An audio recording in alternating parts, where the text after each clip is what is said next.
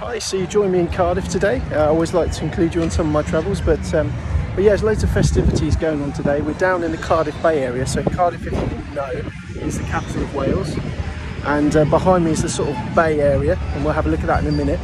But for the time being, we're going to have a little walk over to the Millennium Centre, which is this massive building just over there. So synonymous for the front of the building um, and the way it looks, it's just a little bit different. It Looks really, really cool. Um, so I'm down in Wales to um, uh, to do a bit of photography. I'm doing some training courses and stuff for some people, and um, yeah, it should be, should be really good. It's so hot though, it's lovely, really, really nice, nice big blue skies and everything else. So I need to choose something to eat for dinner actually. I'm not too sure what to go for. Um, but yeah, so let's go and have a, a quick look over here.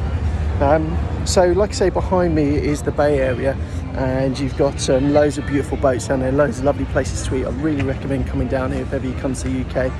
Um, they do have a main street for uh, shopping and all the rest of it, which I'll try and show you tomorrow. Um, but for the time being, let's have a quick look at this beautiful uh, Millennium uh, building that we have here. So you can see straight away, it's very difficult the way I've got it around this way, but you can see already the, the odd shape it comes out from the wall. So um, let's go have a look. Tell you what, I'm struggling this heat. so in the distance you can see like the main part of the city with the high-rise buildings. Um, but up here you can see as we get a little bit closer I'll try and uh, it's a beautiful beautiful building so if we stand back a little bit over here should be able to get a bit of a better view of it. It's quite far back. It's got loads of unusual sort of architecture and things like that. But, but it really is a lovely place to go. I mean, look at the red building over there. I'm not sure what actually that building is, but it looks lovely. There you go. That's a bit of a look at it. That's the famous Millennium Building in Wales. So let's go and um, let's go and walk down and a little bit, uh, have a bit, uh, bit of a better look at the uh, the actual bay now. Um, so I hope I'm not boring you too much, but I just thought I'd share what this place looks like because I'm always interested in, in, different countries and the cities and the towns, what they're like, what it's really like, you know, sometimes off the tourist trail and everything. So, uh, so yeah, let's have a look. So it looks pretty cool in there.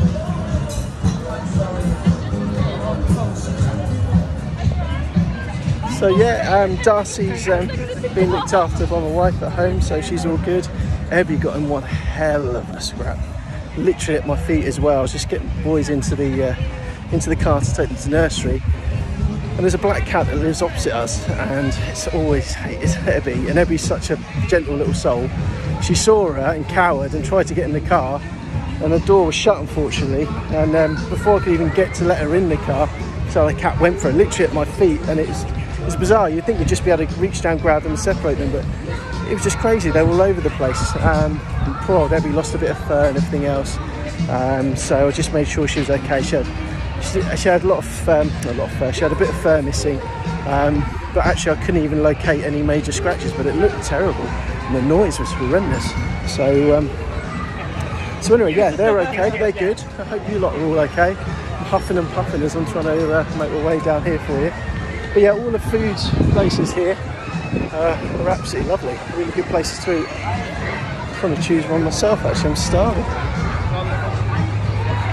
Um, so yes, basically what I'm doing down here now is once it quietens down a bit and gets a bit darker, um, I'm going to be taking a series of shots of some of the uh, sort of statues they've got around here. They've got some really cool stuff and playing with the lights and everything else.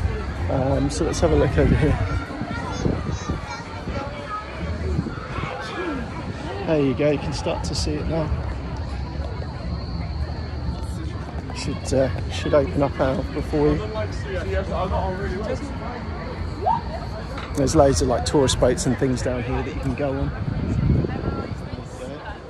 So this is the bay. You see the big ships out through the centre there. There you go. It's actually fresh water this. It's not actually joined to the sea. A lot of people think it is, but it's actually not.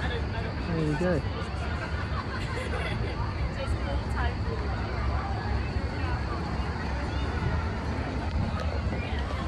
well, hopefully that helped anyway and give you a little idea about Cardiff Bay and what it's like. And uh, yeah, hope you have a really good day. Bye.